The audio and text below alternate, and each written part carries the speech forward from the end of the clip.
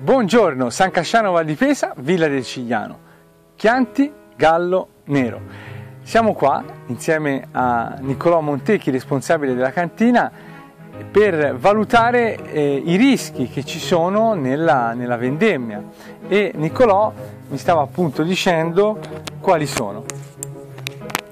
Ciao, buongiorno. Siamo veramente agli ultimissimi giorni prima della, della vendemmia, mancherà ormai poco meno di una settimana e eh, di fatto sono i giorni cruciali in cui eh, due sono i principali rischi. Il primo è quello legato all'andamento meteorologico.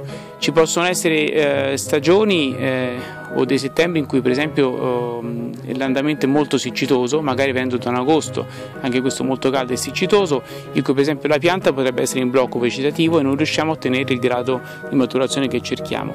In realtà in questa stagione il rischio principale è semmai quello opposto, l'eccesso di pioggia. L'eccesso di piogge possono eh, compromettere i valori analitici che stiamo cercando di avere per poter raccogliere l'uva al punto giusto e nel peggiore dei casi possono anche far partire dei fenomeni di marciume.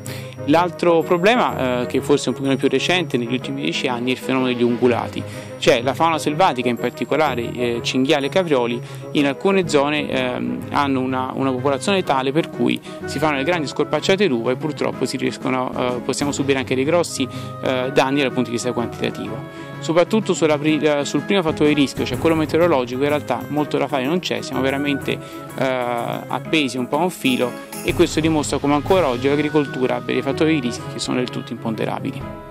Perfetto, grazie Niccolò per il tuo contributo, ti salutiamo da, da San Casciano Val di Pesa, da, questo, da questa bellissima terra che puoi vedere alle nostre spalle e ci vediamo nel prossimo video. Ciao! Ciao!